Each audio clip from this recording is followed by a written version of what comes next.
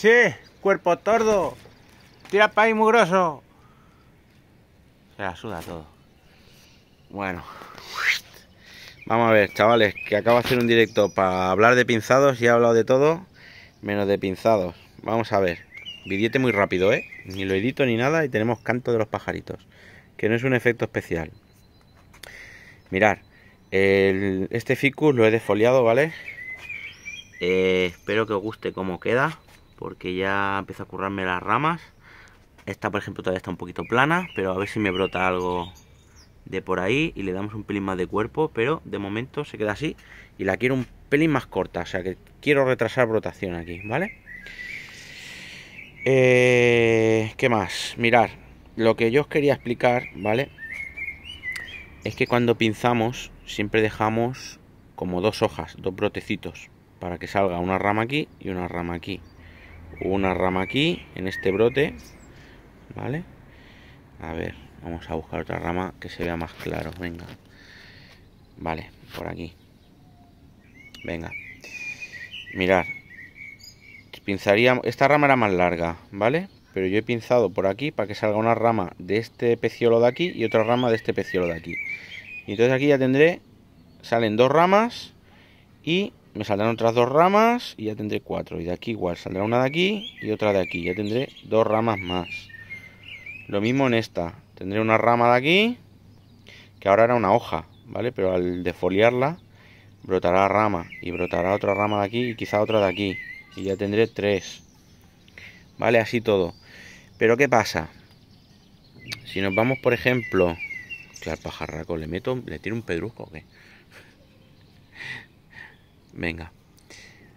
Eh, si yo de folio pinzo, ¿vale? Esta rama, que era muy, muy, muy larga, ¿vale? Venía a ser pues como esta.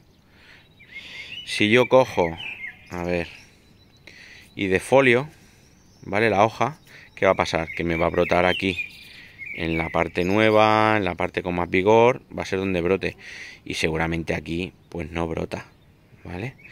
¿Cómo se soluciona? Si quieres que brote, pues tiene aquí una hoja y aquí otra. Una y dos. Pues podo por aquí, cataclac, que es lo que le he hecho a esta, ¿vale? La he podado y además a más la he defoliado. Le he quitado una hojita que tenía justo aquí y otra que tenía justo aquí, ¿vale? Venga.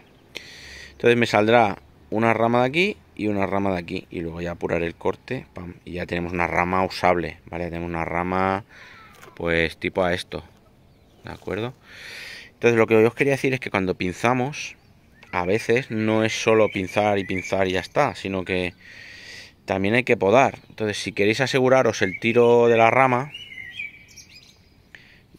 ah mosquito de que os brote pues dejarle siempre eh, una hojita o dos para que brote bien. Que hay alguna rama muy débil, mira, veis como esta de aquí, pues no le he quitado la yema apical aquí, ¿vale? Se la he dejado porque a esto, con lo finito que es, que es como una aguja, ¿eh? Si le corto la, llama, la yema apical, eh, me la seca, me seca la rama casi seguro, ¿vale? Y poco más, ¿de acuerdo? Lo mismo esta aquí, ¿veis? Esta rama tiene un trozo muy finito y solo tenía una yema o una hoja, vaya. Entonces se la he dejado porque si la podo por aquí, pues a lo mejor me la seca. He dejado esta. Cuando esta ya esté brotando, si no me brota ninguna, pues bueno, el año pasado que el, año pasado, el año que viene cuando esté más gordita, entonces ya la podaré, ¿vale? A veces hay que tener paciencia, no se puede hacer todo de golpe, pero eh, no vale de nada que solo pincéis y no vale de nada que solo defoliéis y no vale de nada solo podar, ¿vale? Entonces en estas fechas tenéis que hacer eh, un poco las tres cosas. Primero pinzar, ver cómo ha quedado y luego ramas feas, ramas mm, muy finas, pues no las podaremos, pero ramas gordas o feas tal, aprovecharemos para podar y si el árbol está fuerte y queremos ramificar a tope, aprovecharemos para defoliar. ¿Vale? Y simplemente era eso, que no os limitéis solo a hacer una cosa porque no cunde, ¿de acuerdo? Eh, este lo veréis en breve. Eh, no sé si os acordáis de él, pero era más alto y no me convencía.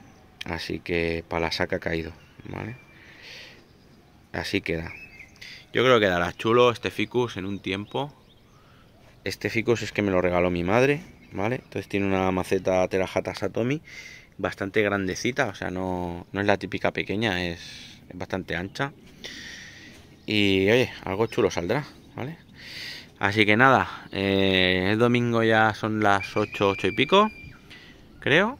Así que me voy a editar, que si no, no salen vídeos luego por la semana. ¿Vale? Venga, un saludo a cascar las pájaros y pájaras.